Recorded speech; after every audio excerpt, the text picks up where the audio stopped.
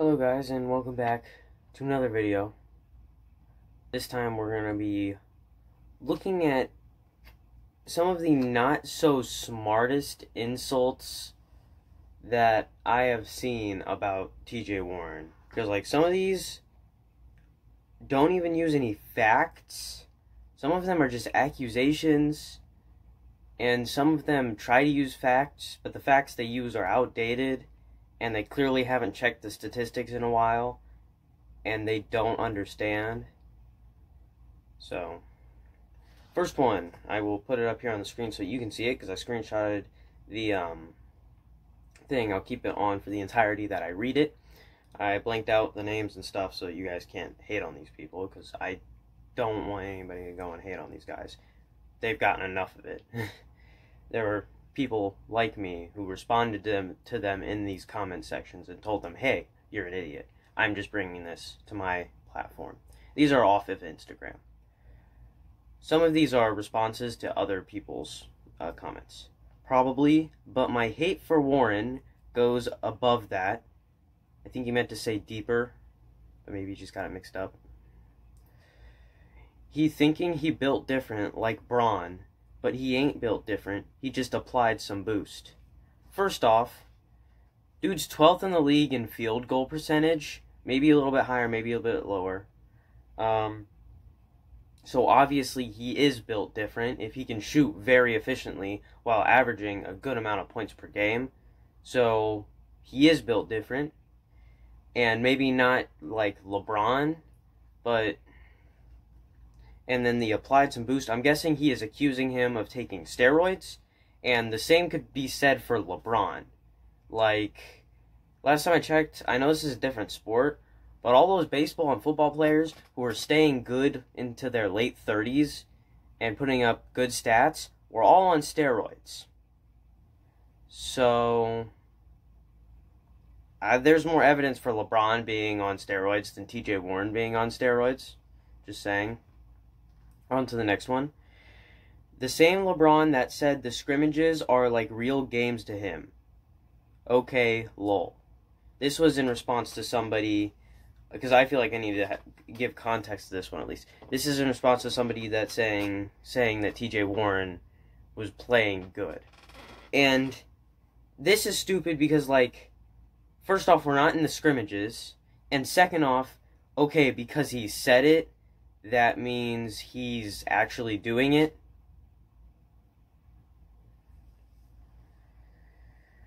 Last time I checked, OJ Simpson said he didn't kill anybody, and we're pretty sure he did.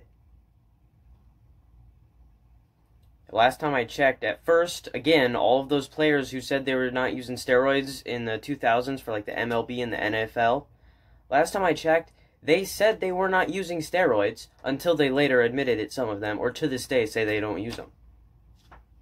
Just because he says it doesn't mean it's happening. But I get I, I know some of you bronze sexuals out there. You're just you treat everything LeBron says as gospel. And you follow it to a T and you believe everything he says and you buy into the hype about him every single day. And anytime anybody tries to question his pure greatness, you see red, you don't think, you don't use any stats, and you're just you just black out. On to the next one. Just four games. I hate to break it to you, but it's actually five games, not four. Like, and still, I know one of those games he didn't play good. But maybe that's why he's saying just four games, is because he played good in four games. He did have one game against the Suns where he didn't play so good. But four games of scoring 30 points or higher, like, that's not a just thing. Like, I get if it's just one or two games, but, like, after one or two games, like, it's starting to become a reoccurring thing. So you got to give it a bit of credit, at least a little bit. He went to the crossroads like, I on to the next one. He went to the crossroads like I don't want to be a bum anymore. Jimmy bullied me. I don't know if this one's really hate, but I feel like it's saying that you know TJ was a bum before all this happened, and he wasn't a bum. He was averaging 18 points per game on a playoff team on good efficiency, actually great efficiency. So he wasn't a bum. I don't know why people keep on saying he's a bum. On to the next one. A few games in the bubble doesn't make him better than Jimmy Butler. He's had a great season, and he's a consistently good player. Warren had five good games.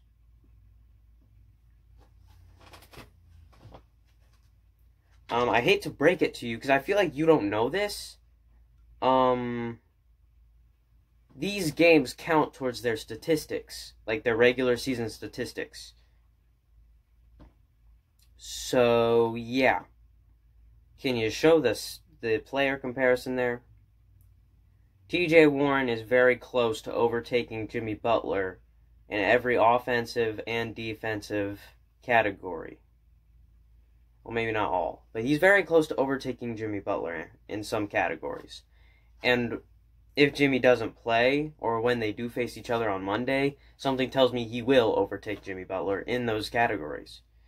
So actually, uh, these five, soon to be six, good games uh, will make him better than Jimmy Butler. And Jimmy Butler has not been a consistently good top player. Uh, last season, actually, with the Philadelphia uh, 76ers, he was only averaging 18 points per game. That's not a top player. So, yeah. So there are multiple things wrong with this one. I don't know what drugs this guy was on. I mean, Miami, there's a lot of them. A lot of drug. There's a lot of drugs. On the next one, the last one. Just stop it. It's five games. It's not going to make him better than Jimmy. Show the stats. Show the stats. It's actually making him better than Jimmy very soon. I don't understand what crack these people have done, and these are just some of them. There are more stupid comments out this like there. Like there are more stupid comments out there like these. In fact, there are probably some that are stupider. So, I just got a few because I knew it would take a little bit, and I didn't want to make a very long video. Just want to make more of a short one. But yeah, that is uh, a bunch of not so smart NBA fans trying to comment on why TJ Warren isn't good. Like, I feel like some people don't realize. I know it took me a second to realize this too. Because I know this feels like a completely different season. Feels like a new season, all new everything. But these stats are just based, these stats go towards their regular season averages. This is still the 2019 to 2020 season. So all of these go to their regular season stats. And right now, Jimmy Butler's regular season stats are saying stagnant and in fact in a decline. Jimmy Butler was once averaging like 22, 23 points per game. He's now down to 20. And TJ Warren is up to 19. And if he keeps this going, Jimmy Butler is going to overtake him in points and some other categories. And also, if they win, if the Pacers win, it will overtake him in the standings, becoming the fourth seed. The Heat becoming the fifth seed, in case you didn't know. And I know Jimmy Butler is sitting out, but I remember the last time I had a sore foot, I iced it for a few days, and then I was good again. Well, not good. I was fine. I was healthy again. So I don't understand we're coming up on a week of him having this sore foot. It should be healed by now, and he should be healthy to play. So, maybe it's just a very sore foot. Need to put very next to it. That way we really understand the extent of this sore foot. I mean, like sore just means you were overusing it a little, and you realize something uh, soon, and you prevented a more serious injury. And it should only last a few days if you treat it properly, and then you're good to go again. But I, I, I know if we beat the Heat, you guys are gonna be like, you beat you beat them without Butler though. You beat them without Jimmy. We don't have Sabonis first off, and second off, um, last time I checked, the Celtics against the Pacers chanted, "You don't have Oladipo." After Oladipo uh, blew out his knee. So best believe, if we beat the Heat, I am chanting all day long. You don't have Jimmy. Because Jimmy has a sore foot, which will take little to no rehab whatsoever. Maybe, uh, not little to no. It'll take a little bit of rehab. Victor had a blown out knee, which takes a year to rehab. And nobody said anything. Nobody thought this was a little bit insensitive. So I'm chanting you don't have Jimmy because we don't have Sabonis. And Jimmy isn't hurt with this serious, terrible injury. He's hurt with a sore foot. Lasts about a week. We're coming up on over a week soon. Hopefully by Monday he plays. That way we can see Jimmy versus TJ. Jimmy score, you know, like 10 points. TJ put up like 50. Might be a bit off on both of those, give or take a few for each. But if Jimmy does suck, TJ does do good. TJ might overtake him in points per game.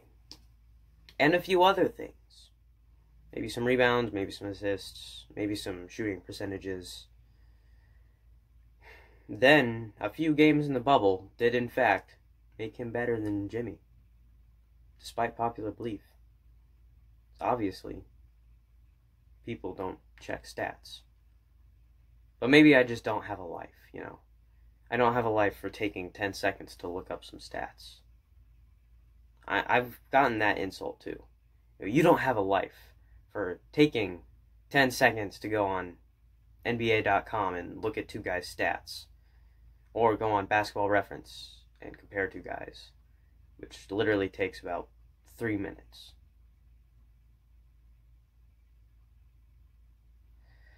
I will see you guys in the next video. Love on each other, as in, like, you know, tell each other they love. I don't know, like, who the person is. So,